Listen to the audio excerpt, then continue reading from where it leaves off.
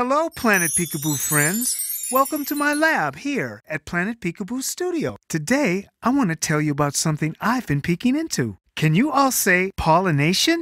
Let's all say it together. Pollination. Very good.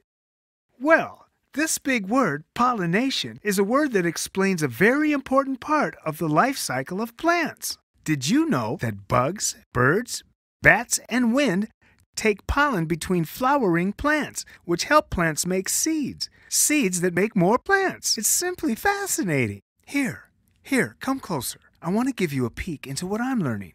Look, this bumblebee is starting the pollination process without even realizing it. He sees the bright colors of this flower and its sweet smell. This tells the bee that the flower has that perfect sugary nectar.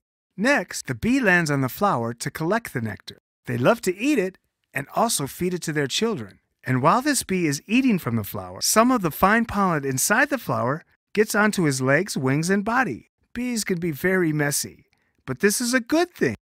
You see, what happens next is the bee continues on his flower eating way, flying to another flower. And when the bee lands on the next flower, pollen that was already attached to the bee's legs, wings, and body drops into the other flower, which helps the plant make seeds. This is the pollination process. And what an amazing event it is. Oh, look who's here! Oh, that tickles! Surprise! It's me, Lillaquin!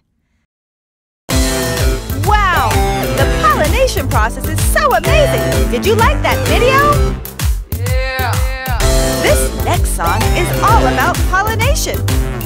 Check it out!